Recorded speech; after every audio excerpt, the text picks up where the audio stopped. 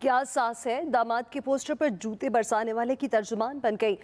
विफाकी वज़ीर इतलात मरीम औरंगज़ेब की तनकीद कहती हैं कि आयन और अदल, जब फॉरन एजेंट दामाद, बेगमात, बच्चों और सास के मशवरों की नसर हो जाए तो मुल्क को महँगाई भुगतना पड़ती है।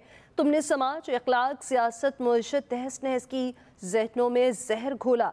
दिलों में नफरत भरी, सियासत को गंदा और मुल्क को मफलूज किया। बेशर्म तुमने बाजवा के कहने पर असम्बलियाँ क्यों तोड़ी?